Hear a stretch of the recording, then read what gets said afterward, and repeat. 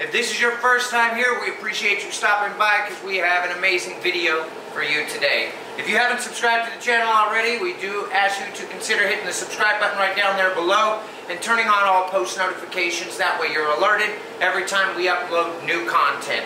Don't forget, on November 15th, we're giving away a KFX1 powder coating system or $1,500 cash. All you have to do is make sure you're subscribed to the channel and you've got all post notifications turned on to enter. You get one entry and there's a plethora of ways to get more entries and just keep watching the video and you'll find out. Today we're working on a couple of different things. One, we have a bike frame that we're doing for an old BMX bike and then we have some Forgiato three-piece wheels and these are just the faces. So we're going to do these Super Root Beer, which is a bronze color from Prismatic Powders. I'll make sure it's linked down below. The bike frame as well as the faces are all going Super Root Beer. We do have one piece of each of the barrels. We're going to be doing those intense blue, but those are going to be on a separate video because the powder's not here yet. So we're going to make a separate video just with that. We do have the faces all blasted as you saw in the video before this.